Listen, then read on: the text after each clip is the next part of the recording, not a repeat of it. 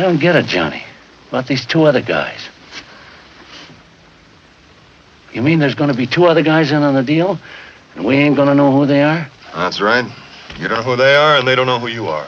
That makes sense to you, doesn't it? Well, yes, I guess so, but I... Makes sense to me, all right. How come we need them, though, Johnny? What are they going to do? Oh, one of them's for the job with the rifle. None of you boys can handle that, even if you were willing to. And the other one starts the fight in the bar. These other fellas, how much are they cutting in for? Not that I mind. Anything you do is okay, but. These men are not going to be in on the basic scheme. They're getting paid to perform certain definite duties at a certain definite time, and they're not cutting in on the take. They'll be paid a flat price to do a straight job. Well, if they don't know anything about the basic plan about the job, then why are they doing it? That's simple. These boys are straight hoods. They get paid in advance, five grand for the one with the rifle and twenty-five hundred for the other. Well, where's this money coming from? Uh, that's where Marvin comes in. He's getting the seventy-five hundred for us, and he gets it back off the top. I wish I could do more, Johnny. It's almost not right for me to get as much as everybody else. After all, all I do is. Your money counts for plenty, Marv.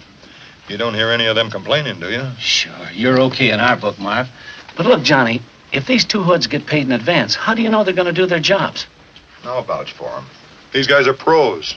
They can't afford to weasel out on a deal. If they did, they'd be washed up. Okay? Okay. Any other questions?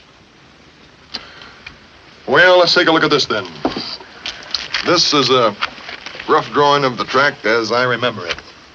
Randy, you'll have to get me an A1 street map of the whole district. George, Mike, I want you to go over this thing with me inch by inch.